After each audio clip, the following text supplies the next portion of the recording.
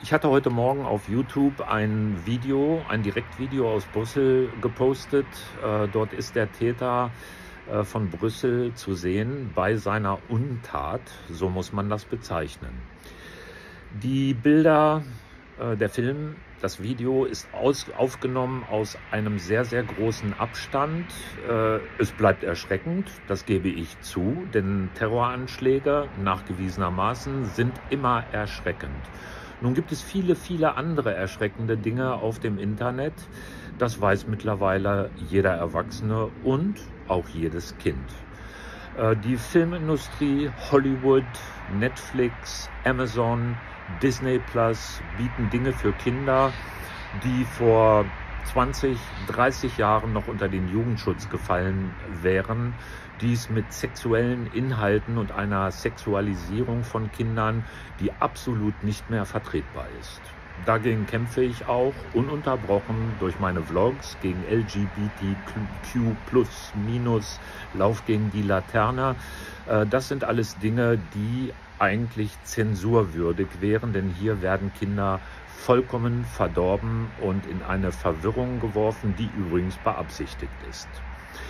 Äh, nun ist das Lustige an der ganzen Angelegenheit, dass speziell YouTube bei jedem Posten eines äh, Inhalts durch einen Creator jedes Mal abfragt, ob dieser Inhalt für Kinder geeignet ist. Mein Kanal auf YouTube, ich empfehle ja immer, äh, insbesondere TikTokern, auch mal da vorbeizuschauen und ein Abo dazulassen, ist äh, als politisch ähm, gemeldet. Das heißt, äh, diese Inhalte werden automatisch durch YouTube und den Algorithmus unter Politik gepostet.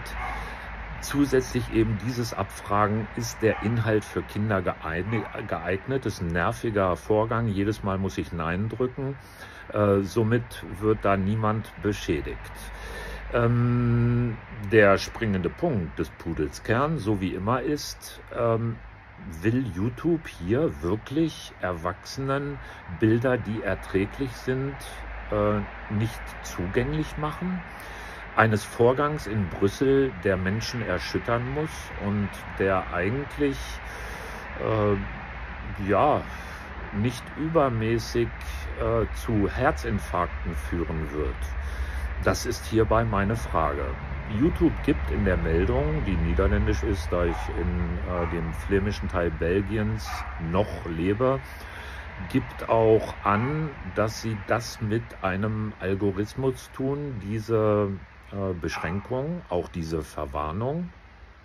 Also hier entscheidet ein IT-Gigant, eine soziale Plattform darüber, was du als Erwachsener aushalten kannst und was nicht. Während auf der anderen Seite eine Menge Leute unterwegs sind, die alle Sorten von Dingen verbreiten, die eigentlich äh, staatsgefährdend sind, die eigentlich jugendgefährdend sind, die das Kindeswohl mehr als beschädigen können. Dahinter steckt Absicht, davon bin ich fest überzeugt. Dahinter steckt auch die EU-Kommission mit Ursula von der Lüge und ihrem unerträglichen Zensurgesetz. Dahinter steckt auch noch Heiko Maas, der in der Ver Versenkung verschwunden ist. Dieser unerträgliche Mann mit seinem Netzdurchwirkungsgesetz. So ein typisch holpriger deutscher Name, wo sich selbst ein Deutscher Mühe geben muss, sich nicht so wie Angela Baerbock zu versprechen. Das also zu Zensur, das also zu Verwarnungen. Auf TikTok findet man sie ja auch und Facebook, darüber will ich gar nicht mehr sprechen, über dieses Fratzenbuch, das kein Mensch mehr überhaupt frequentieren sollte. Grüße, euer Thorsten.